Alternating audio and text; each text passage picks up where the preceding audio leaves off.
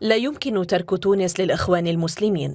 بهذه العبارة الواضحة توجه وزير الخارجية الإيطالي أنطونيو تاياني إلى المجتمع الدولي واضعا تصريحه في إطار دعوة إيطالية متكررة إلى مساعدة عاجلة لتونس في ظل أزمتها الاقتصادية.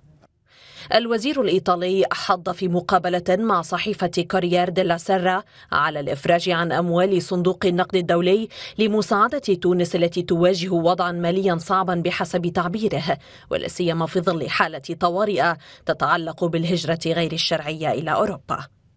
دعوة وزير الخارجية الإيطالي سبقتها تصريحات لرئيسة الوزراء الإيطالية جورجيا ميلوني خلال القمة الأوروبية في بروكسل حذرت فيها من الخطر الذي تواجهه أوروبا بوصول موجة ضخمة من المهاجرين إلى شواطئها من شمال أفريقيا إذا لم يجري توفير الاستقرار المالي في تونس.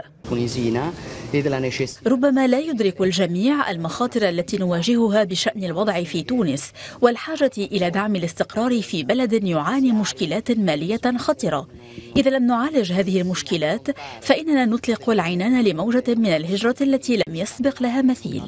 السعي الإيطالي المحموم في الدفاع عن تونس يظهر جليا في تصريحات المسؤولين الإيطاليين في الأشهر الأخيرة والتخويف من عودة الإخوان المسلمين إلى تونس أخيرا خلفيته خوف الحكومة الإيطالية اليمينية من استمرار الأزمة السياسية والاقتصادية والمعيشية في تونس وامتلاء قوارب المهاجرين إلى أوروبا تاليا.